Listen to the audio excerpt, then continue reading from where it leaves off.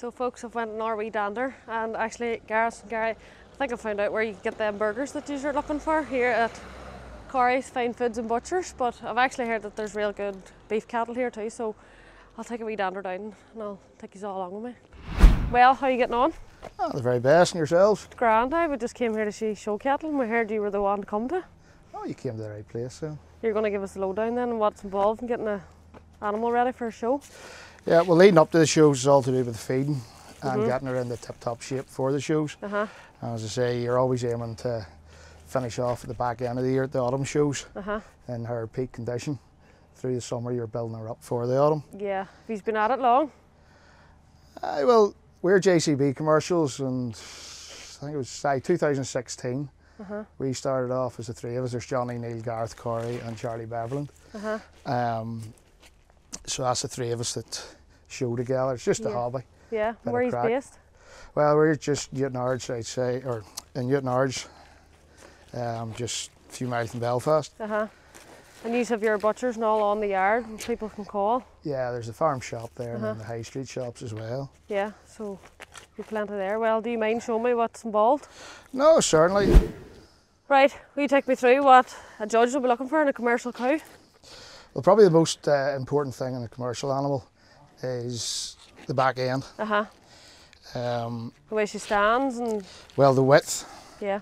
and the way she stands. You want them very wide up here at the top end, Yeah.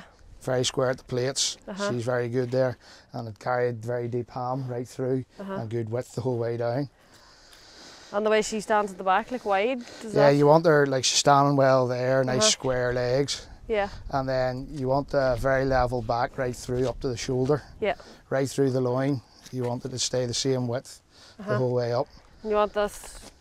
You Flat? want that as flat as possible. You know, you Uh-huh. want to be able to put a like a book leaf on it, Yeah. and then you want them to have a good deep loin, just there where Uh-huh. your primal cuts are. That'll be your sirloin, Uh huh. um, and then you want her not you want her deep at the front, but not overly deep, because if Mhm. they've a real deep front, then it takes away from their The back, back end. end. Yeah.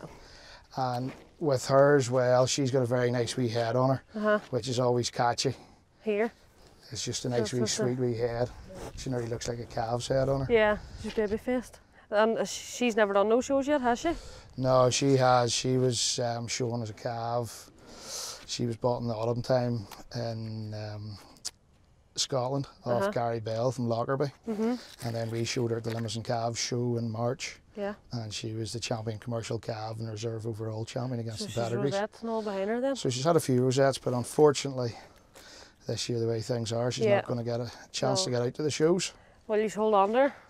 Oh, Let she'll be go. retained. She'll be retained for breeding. Yeah. Well, that's good then. Well, hopefully she will do well for you, and thank you very much for Thank you. helping me. I can understand it all now. I might become a cattle judge.